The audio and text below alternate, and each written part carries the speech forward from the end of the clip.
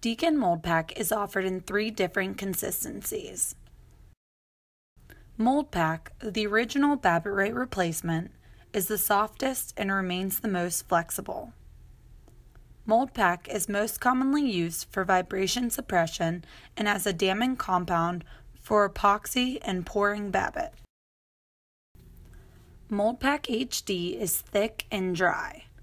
Moldpac HD is most commonly used as a damming compound for pouring zinc. Moldpac EDM is sticky and dense.